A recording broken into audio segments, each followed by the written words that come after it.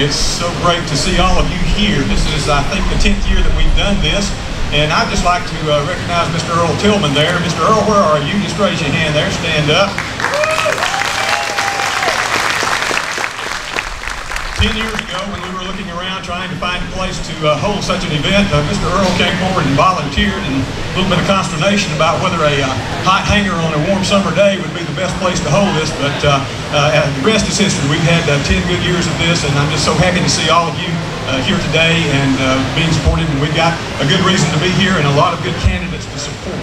Um, I have just uh, have been, been asked uh, by many of you, you know, some of the things that have been going on regarding uh, House Bill 766, which is a bill that I uh, authored last year, and some of the comments that we've heard this morning concerning uh, the need for um, for this economy to pick up and to move forward.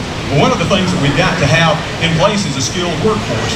And House Bill 766 was the first step to rewrite the work-based learning laws or the uh, youth apprenticeship program laws in our, our public schools uh, an alarming statistic to me that I read in the Rome News a few months back.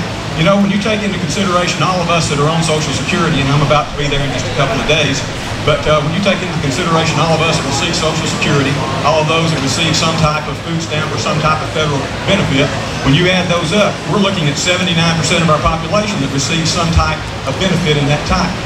we only have 21% actually paying into the system, folks. That's an unsustainable model going forward. So House Bill 766 was just the first effort to rewrite those uh, uh, the work-based learning law, and I've been uh, working real hard over the past couple of uh, months since session was out, and we hope to have a follow-up bill here coming uh, in, in, this next session, which will address some of the real issues that deal with getting 16 and 17-year-olds engaged and involved in the process of thinking what they need to do as far as work is concerned, and, and, and, and looking forward and, and getting them to understand the value and the need work. We've got to change those numbers or we're in some, for some real trouble. And we've got to have that quality workforce to attract those jobs. So some of those things that I've been about, uh, just uh, am here to support candidates that are running for these various positions. So we have uh, so much at stake and we really need good, solid conservatives in those offices. And uh, just uh, thank you for being here today and, and, want you to support them. And I'm going to ask my uh, uh, colleague in the House, Christian Coomer, to come forward. He represents District 14, part of Floyd County and a portion of Bartow County. And I just enjoy enjoyed uh, having the opportunity to work with him. He's been very helpful in uh, uh, helping me to understand the ropes and getting me go, going forward, and I, I, just appreciate him so much. So let's let's hear from Christian.